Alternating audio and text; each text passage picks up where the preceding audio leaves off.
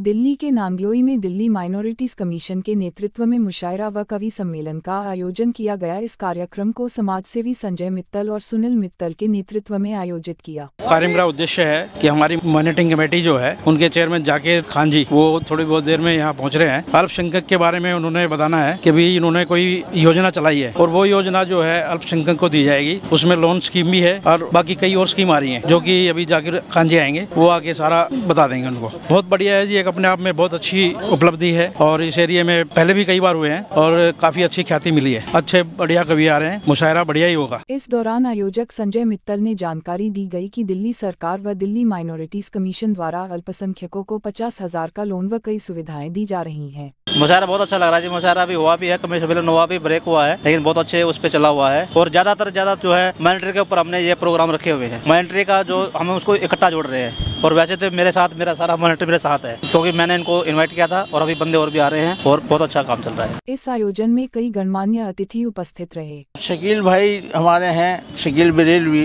इन्होंने हमारे यहाँ ये ऐसा संगठन बनाया है। वैसे तो पहले से ही यहाँ पर उर्दू के मुतालिक काफ़ी कोशिश होती रही है। हमने बहुत मशायरे कराए हैं लेकिन अब काफ़ी दिनों से बंद हो गए थे। अब इस मौके पर लोगों को इस माध्यम से मशायरे के माध्यम से लोगों में जोड़ पैदा करने के लिए और जो देश के हालात खराब खराब हो रहे हैं। इन हालात के अंदर अगर ऐसे मशायरे हों जहाँ हिंदू, मुसलमान, सिख, ईसाई सब एक स्टेज पर बैठ कर के बात करें और उर्दू ज़ुबान में और हिंदी ज़ुबान में कविता के ज़रिए से अपना पैगाम पहुँचाएँ तो उससे एक अच्छा माहौल बनता है। ऐसा वातावरण बनता है जिससे जो है लोग करीब आते हैं। तो खास तौर से ऐसे इलाके में, पश्चिमी दिल्ली के अंदर ये जो किया गया है मशायरे का हमने सिलसिला शुरू किया है, कई मशायरे हो चुके हैं, इससे काफ़ी लोग करीब आ रहे हैं और लोगों को इससे बहुत ही ज़्यादा फ़ायदा हो रहा है और और वो चाहते हैं कि ऐसे प्रोग्राम होते रहें। इस कार्यक्रम में सभी ने मुशियारा व कवि सम्मेलन के माध्यम से एकता व भाईचारे की बात कही।